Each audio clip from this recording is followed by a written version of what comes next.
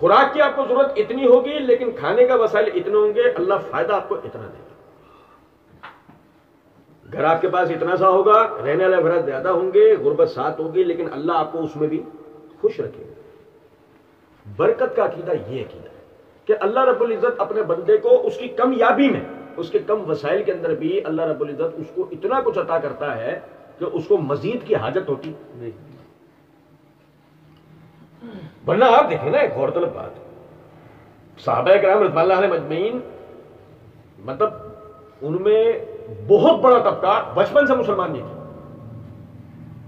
और उनमें बहुत बड़ा तबका बचपन से वो लाइफ गुजारने वाला नहीं था, जो लाइफ मदीने के अंदर वो लोग गुजार रहे हैं उनमें तो बहुत सारे ऐसे थे कि घर से बाहर निकलते थे, उनके कपड़ों का दामन उठा के चलने वाले चार चार गुलाम होते थे।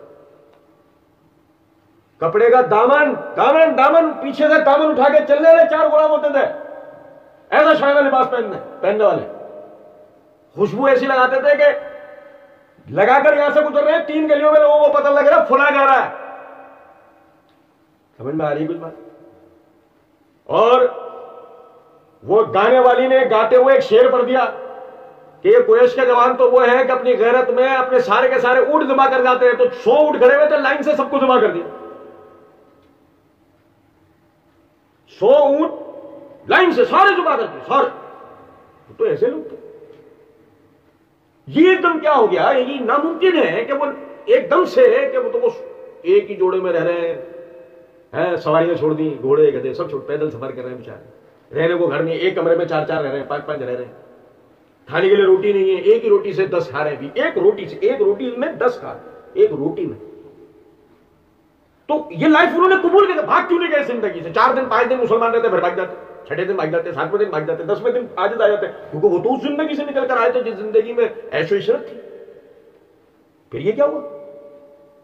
इसी में रहे, इसी में चलते हैं। यहाँ तक के बाद शहीद हो गए।